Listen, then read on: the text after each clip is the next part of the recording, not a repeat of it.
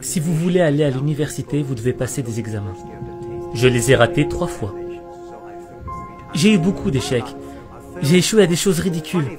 Par exemple, j'ai échoué à un test clé de l'école primaire à deux reprises. Et j'ai échoué genre trois fois au collège. Et vous aurez du mal à y croire. Mais à Hangzhou, ma ville, il n'y avait qu'un seul collège. Et aucun autre collège nous aurait accepté. On était trop mauvais. Je pense qu'on doit s'y habituer. On n'est pas si bon que ça. Encore aujourd'hui, il y a beaucoup de gens qui nous rejettent. Vous savez, pendant trois ans j'ai essayé, mais j'ai échoué à l'université. Alors j'ai postulé à plusieurs jobs, mais j'ai été rejeté 30 fois. J'ai été à la police, on m'a dit non, t'es pas assez bon. Je suis même allé